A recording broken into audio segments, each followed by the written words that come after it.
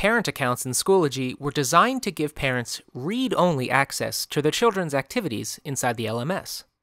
It's important to recognize that parent accounts have certain limitations when compared to active student accounts.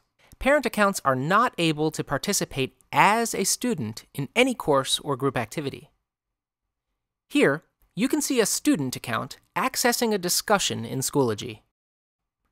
The student account can participate and post in the discussion.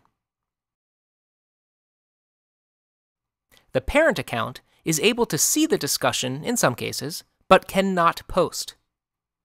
Student accounts can submit assignments on Schoology.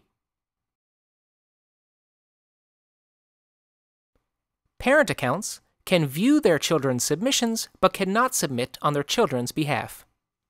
Student accounts can attempt submissions of quizzes and assessments.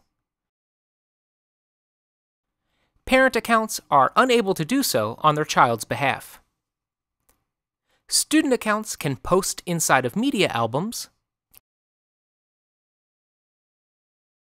Parent accounts can view the media in the album but cannot participate or post on their child's behalf. Once again, if you would like to view your child's courses and activity in Schoology, you can use your parent account, where you will see the light blue box at the top that lets you know you're viewing as your selected child. However, in order for your child to complete their coursework, they must be logged in to their own student account.